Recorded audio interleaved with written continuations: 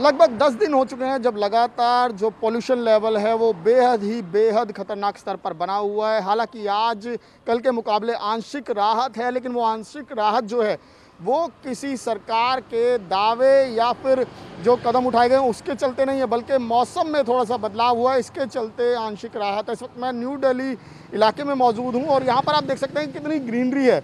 लेकिन उसके बावजूद भी यहाँ पर जो एक्यूआई है एयर क्वालिटी इंडेक्स का, वो पी एम टेन और P M two point five वो तीन सौ से ऊपर बता रहा है और ये हालत पिछले कई दिनों से लगातार बनी हुई है। दिल्ली के बाकी इलाकों के मुकाबले, हालाँकि यहाँ कुछ बेहतर स्थिति है, क्योंकि दिल्ली में कई जगह ऐसी भी हैं जहाँ पर ए का जो लेवल है, वो 500 से पार चला गया है। अंदाज़ा लगाना मुश्किल है कि कितनी भयानक स्थिति है।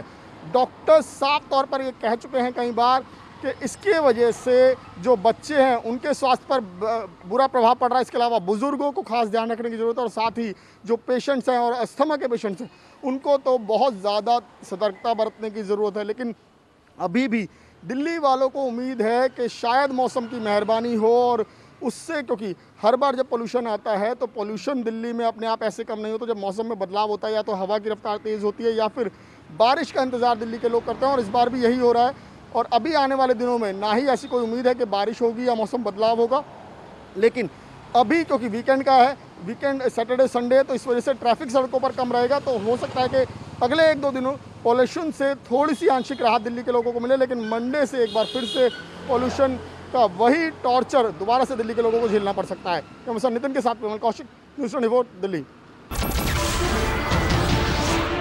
नमस्कार, मैं हूँ मानक गुप्ता। अगर आपको हमारा ये वीडियो पसंद आया हो तो इसे लाइक और शेयर ज़रूर करें। और हाँ, हमें सब्सक्राइब और फॉलो करना ना भूलें, ताकि आप देश और दुनिया की कोई खबर मिस ना करें। तो जुड़े रहिए हमारे साथ और देखते रहिए न्यूज़ 24